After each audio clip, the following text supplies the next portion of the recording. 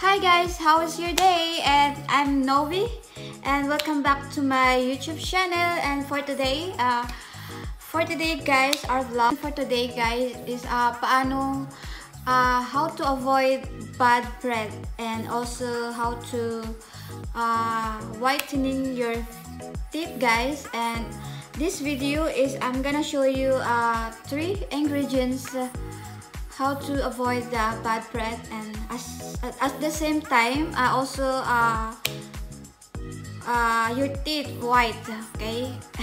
Teeth white okay? Oh my god uh, nahihirapan ako pag nag intro ko guys kasi super shy ko as a person. Na, hindi ako ano hindi ako yung hindi hindi ako yung tao ah ganun uh, super shy ko and I'm sorry because hindi ako nag uh, ano nag sometimes hindi ako nag-intro sa mga YouTube ko kasi nahirapan ako. At um, as I say I'm so shy. Nahiya ako kahit kahit ano lang siya video hindi siya live. Ganun ako guys. So umpisahan na natin yung ingredients natin. Paano maiwasan ang ganito ganito ganito? So guys, uh, this one is really uh, no siya helps sa akin. I also use this um I also use this uh, one time uh, one once a, twice a week. It depends you. It's three thrice a week. Eh. Yan, simple lang yung ingredients natin. Simple lang siya at nasa ano lang siya, na, nasa kitchen lang natin siya. Very easy and very effective and and nakakawala talaga siya ng baho ng ano nyo. Especially may ano kayo, yung ano yung may hindi na, uh, hindi good yung teeth nyo, may ano kayo, may ano ba yung may sira, ganun siya. Maganda siyang gamitin ito. And uh, this the ingredients uh, you you three three ingredients you need uh it's very simple and you need all you the only you need is first you need is lemon and you can also use a lime and then baking soda 1 teaspoon of baking soda and half teaspoon of salt. That's only you need. And yan siya guys. Yan. Pin, pinahalo uh, inhalo ko na siya guys. Tapos and half of this one yan. Yan siya. Halo i-ano nyo lang siya haluin nyo lang siya guys. Halu haluin nyo lang. Yun lang yung ingredients natin. Super dali diba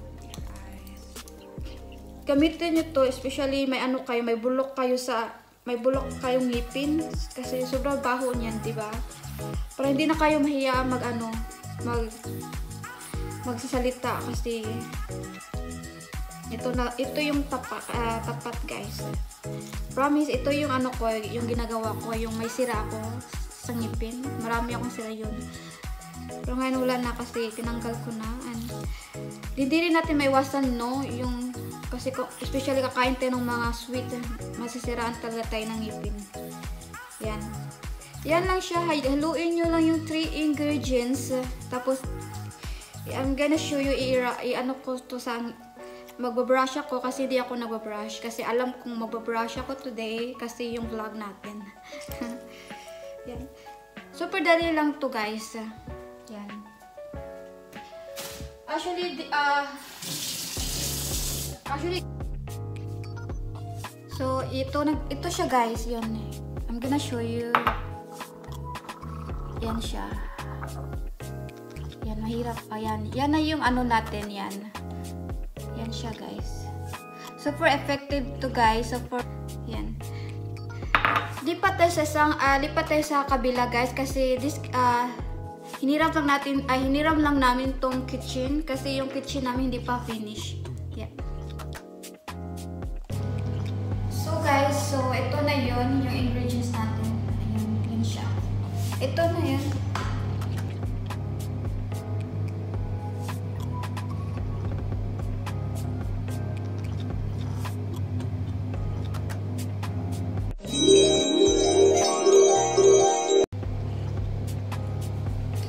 Tapos guys, uh, mag, tapos nyo mag-brush, i-leave nyo ng 1 minute or 2 minutes before you wash your teeth before kayo mag-wash.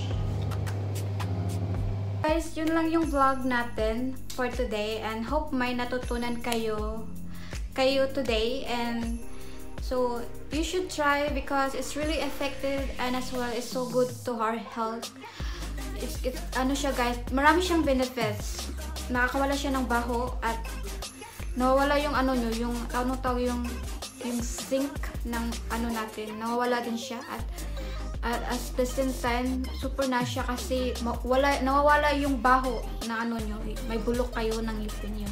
Yun ang importante para hindi tayo mahiyang mag magsalita in front you know, sa ating mga kaibigan, ganun. At, and yun, yun siya guys. And thank you for watching my vlog and and please don't forget to subscribe subscribe my channel and like my video and and please do share uh, it's really appreciate uh, it's, it's appreciated with me and then see you in next my vlog. Bye